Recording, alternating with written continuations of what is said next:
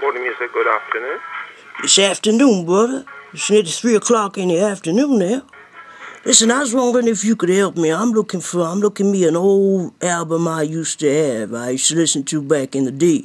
I've been fooling around all kinds of record shops.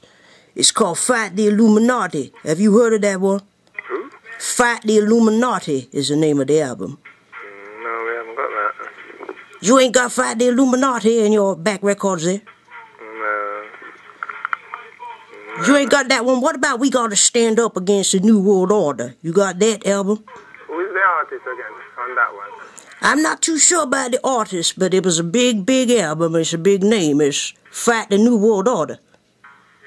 Mm, it rings a bell, but I can't remember who it was. It's ringing a bell to you, brother. You must have heard a few tracks on that album. Okay, now I can't, can't really help you. I can't remember who it is again. Well, you can't hear me, but you have been helpful. You have a good day now.